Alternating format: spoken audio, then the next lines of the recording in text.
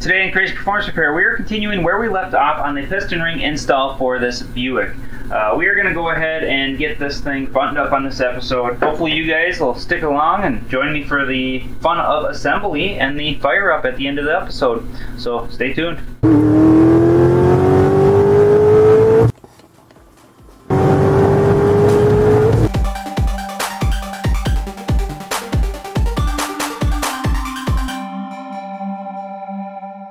So if you're just joining me, be sure to check out the previous episodes for this car. Uh, I'll throw a link up above for the first episode, and of course, uh, the second and third episode will also be listed somewhere as well, or I'll just continue the series. This is a separate series for this car. Where we left off was we have the head set into place, and that's it. I have not done any bolting up of anything.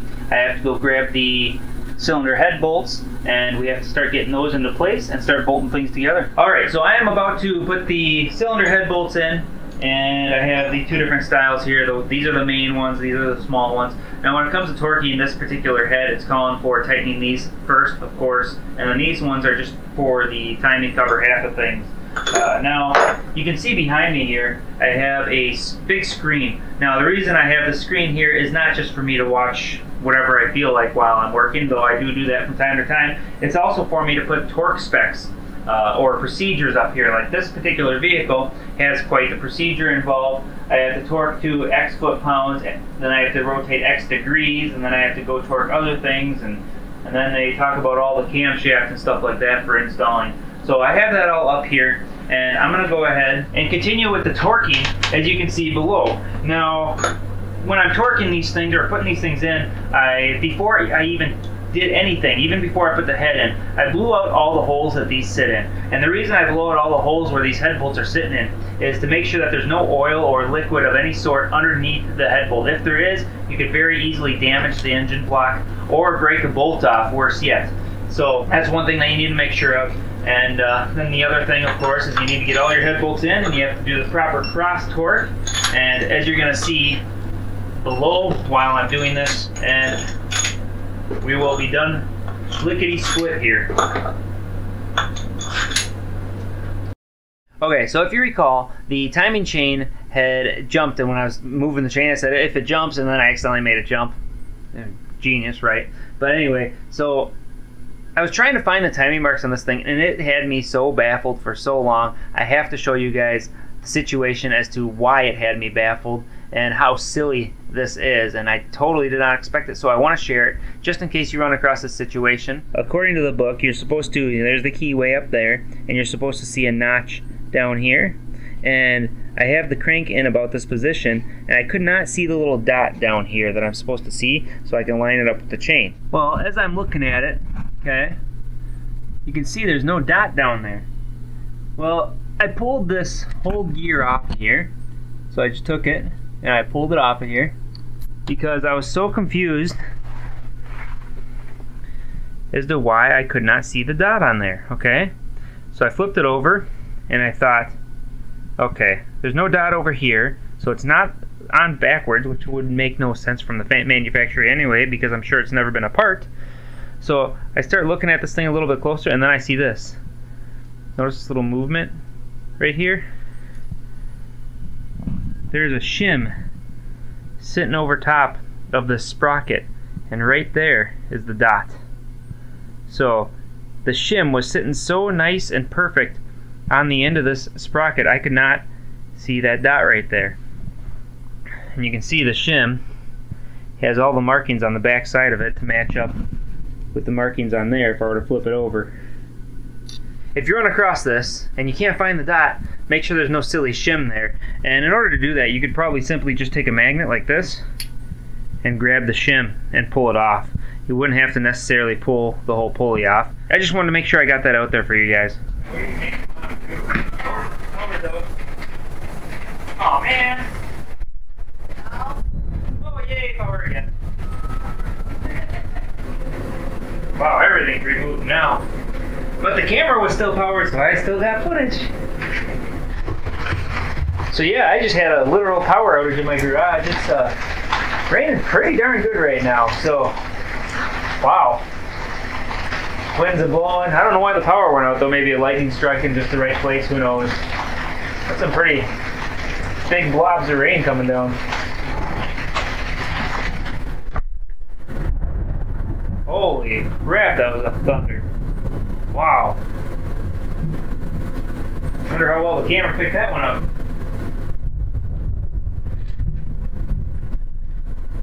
Oh, the rain almost came to a stop. Weird. Alright, so as you can see I have the, the pulleys sitting in place. I took the bolts and I just I hand tightened them. I don't want to tighten them down because they're they're torque to yield bolts and on top of that I don't have the chain tensioners all properly set into place so I don't want to put any stress on the chain by accident. I am going to use a wrench to torque them down, holding the cam and then torquing the bolt. But still, you never know. You might have something go weird and could screw things up. So I'm going to wait until I have all the timing chain components in, and then I'm going to tighten that as the last step. Alright, I am almost to the point of putting the valve cover gasket on. I do have to put the high pressure fuel pump and this cap for the camshaft in. Now we're going to need lube here and here, but uh, I'm not going to do that yet. What I have here is anaerobic gasket maker. Now you can see these grooves here. You want to clean those out. Those are actually to capture the gasket maker or this anaerobic stuff before it gets over here where you don't want that stuff to be interchanged with that, that piston mechanism over here for the high pressure fuel pump. So if you put this stuff in here, you put it on this side of it, that way when it goes that direction, it doesn't make it past that groove. And you make sure you don't have so much that it can overly fill that groove and just keep going. You just want a real thin layer. You don't need much. And it'll be enough to do the job. Once that gasket is in place, then you're able to go ahead and assemble things. Once we're at that point of the valve cover being on, we will be able to continue with the entire rest of the process and get this thing finished up.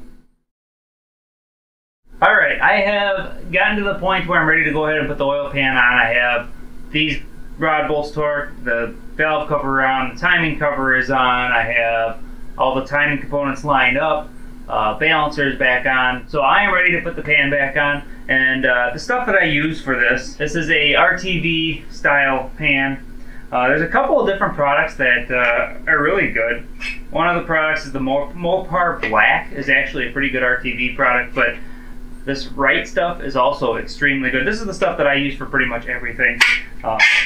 Uh, just because it's what I prefer. Uh, it seems to seem to really work good, especially like situations like this where you might end up with oil running down. It'll still adhere and still seal. I don't know how it does it. It's some kind of magic power that it has, but whatever. This rag is actually in the oil sump deal, and it's it's blocking off the oil that's dripping down. So I just had that there until I could get the RTV started in place. Uh, I'm gonna go and get this RTV going here. I don't need very much. I just need a little bit.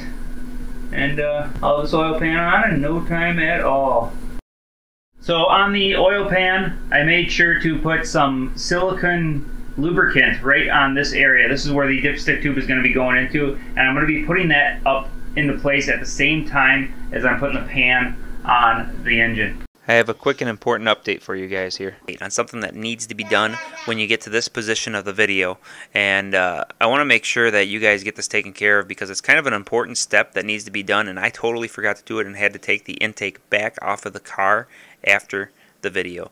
So I'm going to pull up this picture here and on this picture you can see this hole between the two center ports of the intake and that hole is very, very important to make sure you clean it out. It gets plugged up with dirt and debris from the PCV system, and this one on this car was actually plugged up. So just be sure that you go ahead and take the time to find a drill bit that fits it. And I actually took and found one drill bit just slightly larger than the drill bit that fits the hole and opened up the hole a little bit. And it made the PCV system work so, so well. So be sure that you guys clean that out. And uh, yeah, enjoy the rest of the video. For those of you who have not seen me do this yet, any big job that I do, I always try and clean up the engine bay a little bit to make it look nice so it looks like I have been in there and I have done something. Uh, otherwise, it just looks like it was the way it was before and it doesn't look like anything was accomplished. So when they pay a pretty penny like they're doing, I like to make sure that they know that they paid something. So believe it or not, WD-40 is the product I use to clean the engine bays. What I do is I just take this and I pretty much douse the engine bay wherever there's black plastic specifically, and I clean everything up just using a rag WD-40, and the, the thing comes out very, very clean.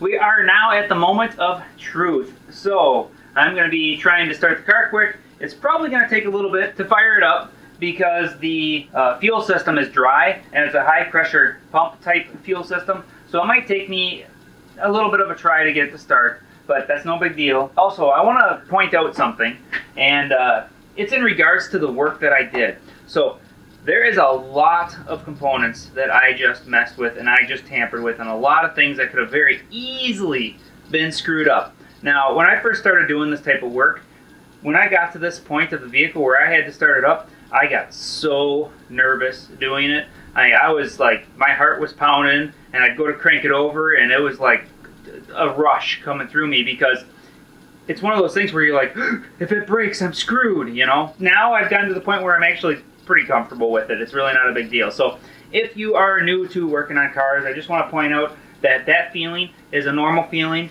because you're afraid you screwed something up and uh, you may have screwed something up. The whole thing is, you know, if you screwed something up, you're going to learn the hard way what not to do. If you didn't screw anything up, the feeling of relief that comes off of the fact that it starts, runs, and works is such an amazing feeling and that's what makes me get excited working on cars. When I fired up a huge project such as a motor build or, or when I first started out, I mean even something as simple as changing out something that was related to timing components. That's all it would take and I'd be freaking out that I might screw something up. And I did screw a couple things up at first, but eventually I figured out how to double check myself good enough that usually my screw ups now involve forgetting to connect a connector. I may have done that. This one had a lot of connectors and I had it apart for a decent amount of time. You know, I double checked what I think I could have. I'm going to give it a shot and try starting it. Okay, so the first part of starting the car, since the fuel system was dry, is I'm going to prime the pump. I'm just going to turn the key to the on position. And I'm going to have a disconnected battery. So, see what I told you about forgetting to connect something? I forgot one of the most important things, the battery. So that's one of those simple things. I forget that a lot. All right, let's see here. There we go. Now I got a fuel pump priming.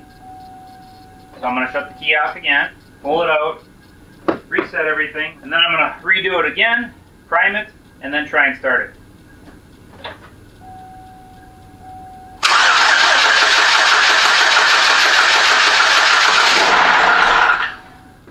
This might be because of the high pressure fuel system that is struggling to start.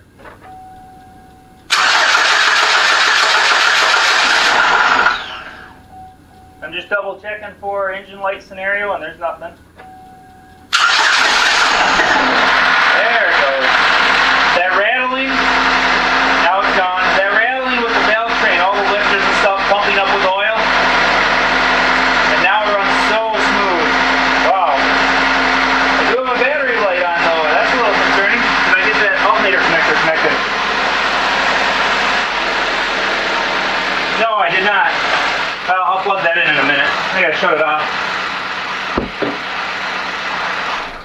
Now another noteworthy thing is when you start something up after a large project like this, you see all this kind of smoke coming up? That is very normal. The exhaust manifold, as you're touching it, you get your greasy fingers and oily fingers all over it, dribble oil on it somehow, some way. It always ends up smoking. So I'm gonna go ahead and try and get the alternator connected again. I saw this right before I put this on and I was gonna connect it and then I got distracted. Alright, let's try that again.